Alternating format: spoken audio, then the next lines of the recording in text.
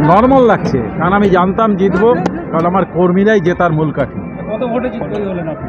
এবং এটা unexpected lead হয়েছে। বা এক হাজার দুশো তেরো ভোটে আমরা লিড আমি লিড আমি তৃণ- তৃণমূল লিড পেয়েছে। এক হাজার দুশো তেরো আমরা আমি ভোট পেয়েছি এক হাজার আটশো পঁচাত্তর। সিপিএম ভোট পেয়েছে ছশো পঁচাত্তর। এবং সবচেয়ে আশ্চর্য এমন একটা পল্লী নাই যেখানে আমি হিউজ লিড না পেয়েছি।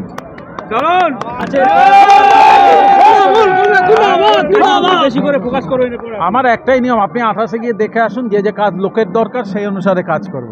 আমার নিজস্ব কোনো এজেন্ডা নেই। ওখানে যা যা শর্টেজ যা অসুবিধা মিউনিসিপ্যাল মিউনিসিপাল সংক্রান্ত সেই কাজের উপর জোর দেবো।